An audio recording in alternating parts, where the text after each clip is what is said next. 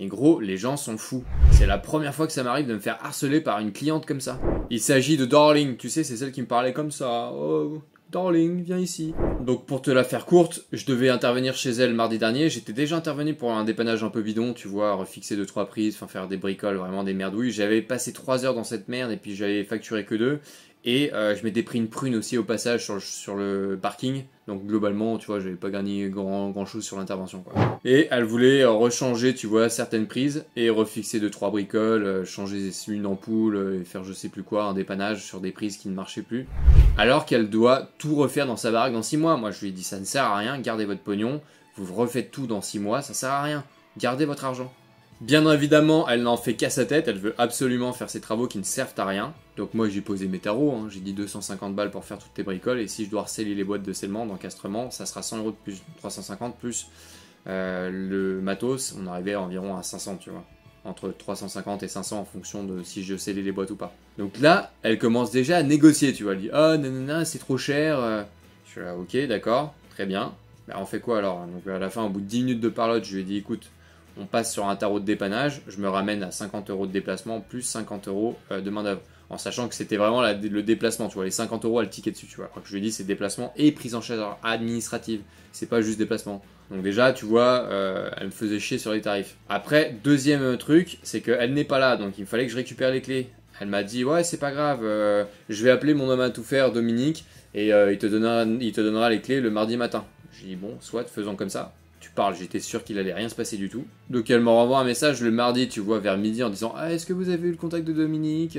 Et moi je lui dis bah non, que dalle, il m'a rien dit du tout, terminé, j'arrête les frais, je coupe les frais, j'ai d'autres chantiers à faire, c'est terminé, je n'interviendrai pas pour vous. Ce qui est dommage, c'est qu'en fait le message que je lui ai envoyé ce jour-là n'apparaît pas dans la conversation, et je pense savoir pourquoi, parce qu'il peut y avoir des petits bugs, et je te montrerai mon setup, c'est que j'envoie mes messages, mes SMS à partir d'une application sur euh, ordi, sur desktop, et euh, ça c'est génial, mais parfois il y a des petits bugs, et donc euh, je crois que ça va supprimer l'historique, je ne sais pas pourquoi, mais je suis sûr de l'avoir envoyé, puisqu'elle m'a rappelé 5 minutes après, tu vois, euh, pour essayer de négocier, moi j'ai pas répondu du tout. Entre temps, elle me relance deux, trois fois par SMS, elle me laisse deux messages vocaux. Elle appelle sa femme de ménage pour me relancer. Oh, mais qu'est-ce que c'est que ce délire? Eh, franchement, en d'autres circonstances, je le prendrais positivement, tu vois, en mode ah ouais, cool, elle veut vraiment me choper. Mais là, qu'est-ce que c'est que ce truc? Il y a des gens, ils sont fous, tu vois. Ils font style, tu vois, ils sont sur l'île de Ré, ils, font croire à tout le monde qu'ils ont du pognon. Au final, tu vois, ils ont, ils ont pas un copec. Pff, quelle indignité. Bon bref, je sais pas quoi lui répondre en, en commentaire là, en dernier SMS, parce que j'en ai marre. Tu vois, j'ai envie de lui mettre un truc en mode genre à l'air de MeToo, euh, un nom est un nom, tu vois, me foutre un peu de sa gueule. Merci de respecter mon consentement. Mais euh, je sais pas quoi lui répondre, tu vois, faut rester quand même un minimum poli parce qu'on sait jamais, je suis partout sur internet, euh, il suffit qu'elle me mette un carton, c'est pas très bon non plus, tu vois. Donc euh, ça ternit un peu l'image, je m'en fous, tu vois, j'ai pas besoin de ça, mais quand même, ça ferait un peu tâche. Du coup, qu'est-ce que je lui réponds? Qu'est-ce que t'as, des idées? Euh, Voilà, balance l'idée la plus marrante, qui, qui sera la plus sympa, je, lui balancerai ça en réponse. Et après, vendredi après, euh, qu'est-ce que j'ai fait? J'avais deux dépannages l'un dans l'autre, c'était magnifique, mec. Je devais intervenir donc pour euh, une cliente, et en fait, son frère qui était dans la maison d'à côté, il avait besoin aussi de mes services. Donc parfait, tu vois, t'arrives, tout le monde est content dans l'histoire. Je facture une seule fois les frais de déplacement, il se débrouille sur la facture, et puis euh, moi, ça me fait travailler, c'était magnifique. Donc j'arrive, première maison, gros. Jardin assez grand. Et euh, donc du coup, c'était des fuites de courant euh, liées donc à des prises extérieures. Et là, je sais pas trop, donc j'ai testé avec le mégomètre, du coup, euh, fast air et neutre terre toujours. Je fais toujours ça avec le mégomètre, donc euh, en ayant déconnecté la barre de terre et en ayant plus de courant, donc sur le disjoncteur incriminé. Je prends ma mesure, j'ai que 200 000 ohms de, mesure, tu vois, entre à chaque fois cette marque inférieure ou égale à 200 000 euh, sur phase euh, terre et neutre terre. Ce qui n'est pas terrible, tu vois, mais c'est pas en dessous de. C'est pas proche de zéro, tu vois. Là, j'arrive pas à comprendre. Bon, la, la panne n'était pas franche en tout cas. J'ai regardé après un peu pour voir comment c'était bricolé à l'extérieur, s'il y avait une boîte de dérivation, pas de boîte de dérivation. J'ai pas trop réussi à voir ça. En tout cas, enfin, il y avait forcément une boîte de dérivation, soit qui était dans le tableau et je l'ai pas vu, dans la goulotte, mais il fallait tout enlever, toutes les étagères, donc je l'ai pas fait. Soit il y en a une dans le jardin quelque part. Et bon, là, c'est à la pêche au gros, mon gars. Au final, j'ai ouvert, tu vois, toutes les prises, le grand là, de, qui date d'il y a une quinzaine d'années, et elles étaient mouillées, enfin, tu vois, il y avait du, de la terre dedans, très humide, t'avais des limaces dedans, donc je lui ai dit, écoutez, là, d'après mon testeur, euh, je sais pas si c'est le réseau qui est incriminé, en tout cas, c'est sûr que c'est que les prises, elles sont humides, faut toutes les changer, je vous conseille ça, et si jamais ça marche toujours pas, et ben là, il faudrait que je retire, euh, je retire un réseau, enfin, que je un peu plus parce que je peux pas passer mon temps à déterrer tout votre jardin, là, jouer au chien, à, trouver de l'os dans le jardin. Donc du coup, voilà. Donc devis supplémentaire, magnifique. On va lui changer ses 4 prises, ça va me prendre 2 secondes et puis on va faire une bonne marche sur le matos. C'est parfait. T'aurais dû voir la baraque, gros. Je suis rentré dedans, je me dit, c'est quoi, c'est un musée le machin? C'était extrêmement bizarre, tu vois. On aurait dit une église, mec. Franchement, c'était ouf et t'avais une sorte de nef, tu vois, genre inversée, avec des murs. J'avais jamais vu ça, ça faisait un peu genre béton bizarre, enfin travaillé. Et donc après, je lui ai demandé, je lui ai dit, mais c'est quoi votre style? C'est art déco? Enfin, tu vois, moi je savais pas. Il me dit, ouais, il n'y a pas de style. Je lui ai dit, comment ça, il n'y a pas de style? Il y a bien quelque chose. Et là, il me dit, ouais, je suis architecte, nanana. Et en fait, son délire, c'est qu'il a fait une sorte de bateau inversé, tu vois. Donc c'est pour ça que ça ressemblait à une nef un peu de d'église. Donc c'était, tu vois, des grandes arches en bois comme ça, et ça descendait. Donc c'était des murs en chaux en fait. Et t'avais des sortes de. J'ai vu, t'avais des espèces de. Comment ça s'appelle Des statues en pierre, tu vois, qui ressemblaient genre à un saint ou je sais pas quoi. Franchement, c'était genre incroyable. J'avais jamais vu ça. C'était un peu bizarre, mais c'était incroyable. Et la vitre, tu vois, elle pouvait. Elle s'ouvrait pas comme ça. C'était une vitre coulissante qui était intégrée dans le mur. Il fallait la changer, donc euh, de l'intérieur, tu pouvais la changer. Mais ça coulissait, tu vois. Un truc de ouf. Il y a vraiment, il y a qu'ici que tu vois ce genre de truc, qui est dans, dans les grandes villes, tu vois, où là où il y a vraiment de pognon. T'es là, putain, qu'est-ce que c'est que ce truc? Et dernier dépannage, hop, donc chez son voisin, qui est le frère de, du coup de la, cliente.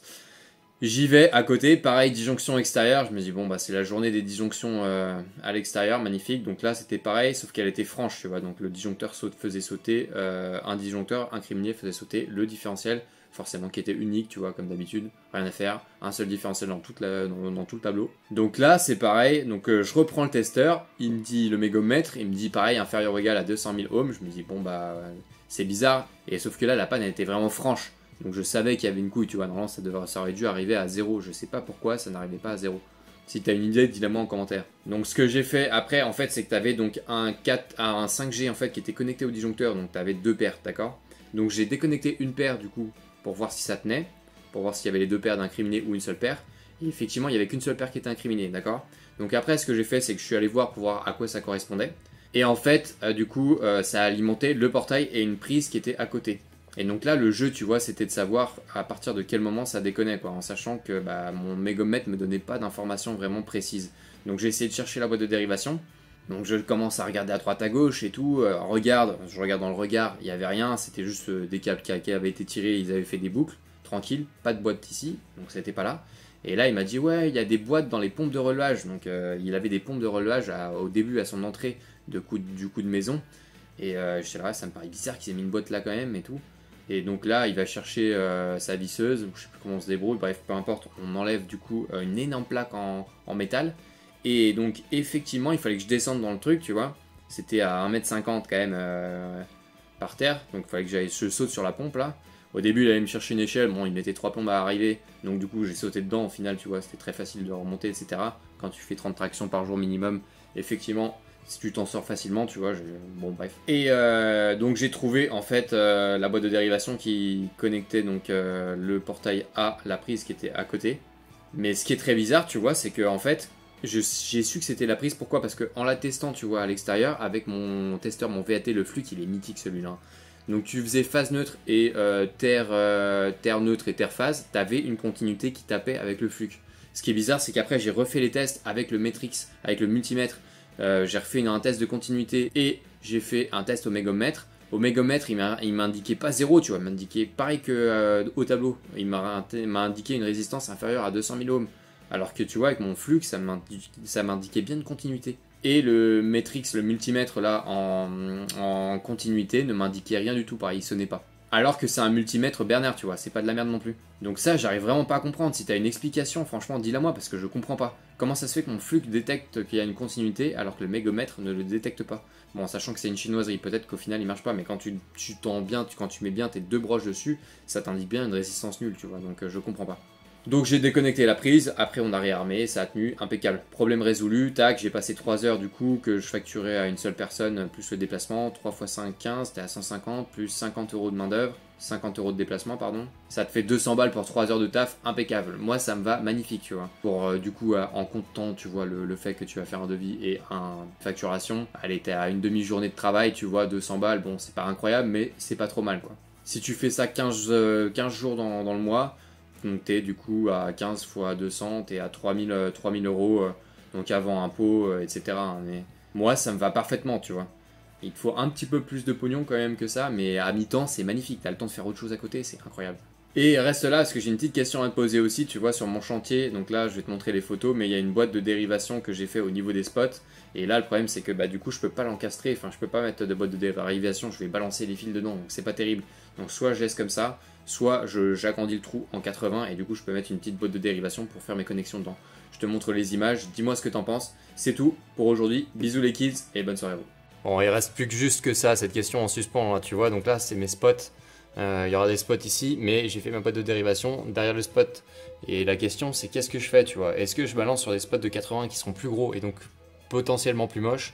Et je balance une boîte, tu vois, dans laquelle je mets toutes les connexions? Ou est-ce que je balance comme ça à la rage dans le plafond? Même si c'est pas terrible, je te le reconnais. Dis-moi ce que t'en penses en commentaire sans être euh, méchant. Merci beaucoup.